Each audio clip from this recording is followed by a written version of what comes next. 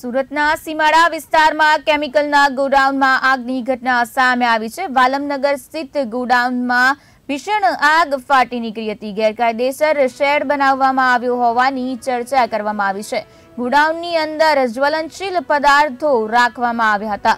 ગોડાઉનમાં ગુંદર રાખવામાં આવ્યો હોવાની પણ આશંકા વ્યક્ત કરવામાં આવી છે. બનાવને પગલે ફાયરની દસ ગાડીઓ ઘટના સ્થળે પહોંચી ગઈ હતી ને પાણીનો મારો ચલાવી આગને કાબૂમાં લેવામાં આવી હતી. ઘટનામાં પાંચ લોકો ઇજાગ્રસ્ત છે અને ખાનગી હોસ્પિટલમાં ખસેડવામાં આવ્યા છે.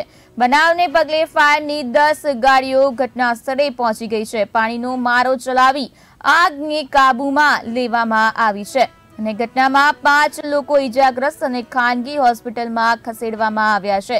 સુરતના સીમાડા વિસ્તારમાં કેમિકલના ગોડાઉનમાં આગ લાગવાની ઘટના સામે આવી રહી છે. વાલમનગર સ્થિત ગોડાઉનમાં ભીષણ આગ ફાટી નીકળી હતી ને ગેરકાયદેસર શેડ બનાવવામાં આવ્યો હોવાની પણ ચર્ચા થઈ રહી છે. ગોડાઉનની અંદર જ્વલનશીલ પદાર્થો રાખવામાં આવ્યા હતા તેવું પણ માલુમ પડ્યું છે.